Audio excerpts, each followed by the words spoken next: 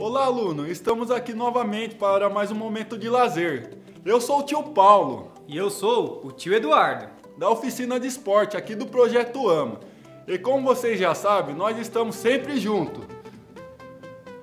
Lazer é um direito garantido pelo ECA e cabe à família educadora incentivar a criança a brincar, promovendo divertimento, criatividade e atenção. Essa brincadeira é bem antiga, quase não lembrada e algumas crianças nem conhecem. Vamos brincar de passa-anel. Vamos lá? Uma criança será escolhida para passar o anel.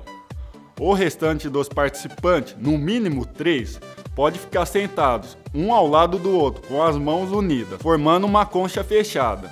A criança que estiver com o anel entre as mãos deverá passar suas mãos entre as mãos dos outros participantes.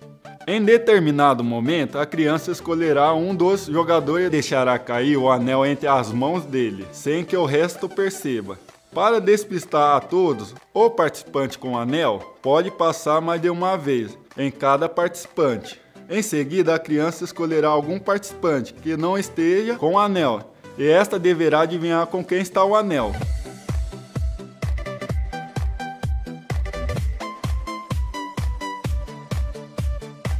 Se a criança acertar, vai ser a vez dela passar o anel.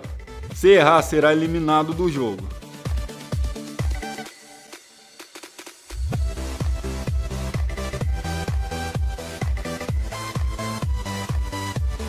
E aí, gostaram da atividade? Já conheci essa brincadeira? Esperamos que tenham gostado. Mandem fotos e vídeos fazendo a nossa atividade. Até a próxima.